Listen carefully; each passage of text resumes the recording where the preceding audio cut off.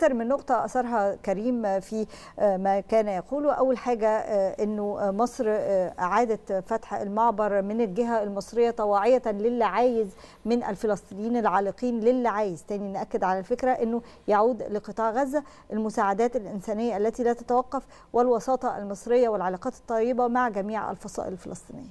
طيب خليني آخد نقطة نقطة. من مسألة معبر رفح لم يغلق لحظة. صح. لا أمام العابرين قصدي من من مصر إلى أنا بس آه بوضح هذا الأمر. نعم. لم يغلق لحظة طول الوقت معبر رفح من اتجاه المصري هو مفتوح. طبعا. آه طيب هو إيه اللي حصل في في توقيت معين؟ أن المعبر ليه جانبين. الجانب الفلسطيني تم قصفه من قبل قوات الاحتلال الإسرائيلي أربع مرات حتى توقيتنا نعم. الحالي.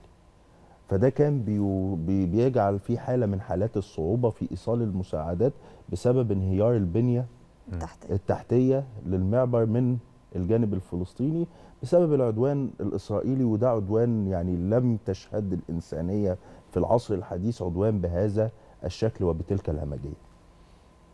الأمر الآخر من اللحظة الأولى الدولة الوطنية المصرية يعني واعية لكل تفاصيل ما يحدث. وخلي أقول خليني أقول لحضرتك من عدة شهور كان في عدوان. من استطاع أن يوقف هذا العدوان هو الدولة الوطنية صحيح. المصرية. ولم تكن هنالك ساعتها لا شراكة مع أي دولة أخرى ولكن كانت بوساطة مصرية خالصة. لكن قبل هذا الأمر الدولة الوطنية المصرية بتعمل بشكل دقيق على حل الخلاف الداخلي ما بين الفصائل الفلسطينية وكان في اجتماع العديد من الاجتماعات التي عقدت داخل مؤسسات الدولة الوطنية المصرية لرأب الصدع ما بين الفصائل الفلسطينية. وبالتبعية ده كان فاتح تواصل مستمر ما بين الدولة الوطنية المصرية وما بين كافة أبناء الفصائل الفلسطينية. لأن خد بال حضرتك من نقطة.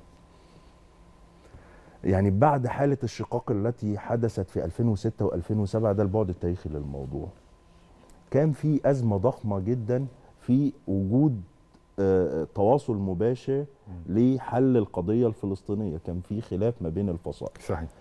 بالتبعية الدولة المصرية تدخلت في هذا الأمر وعلى علاقة جيدة وطيبة بكل الفصائل الفلسطينية لتوحيد الجهود الفلسطينية وإعادة إحياء منظمة التحرير الفلسطينية وصولا للحل التي أكدت عليه مرة أخرى في بداية الأزمة إعلان دولة فلسطينية ذات سيادة كاملة على حدود 4 يونيو سنة 1967 وتوحيد الصف الفلسطيني وإحياء منظمة التحرير وده تاريخيا يعني بعد الانقسامات اللي حصلت داخل البيت الفلسطيني كان عين مصر دايما على فكرة توحيد توحيد الجهود. الجهود تحديدا وما بقاش فيه أي صراع ما بين الضفة جدا من الدولة الوطنية المصرية. صحيح.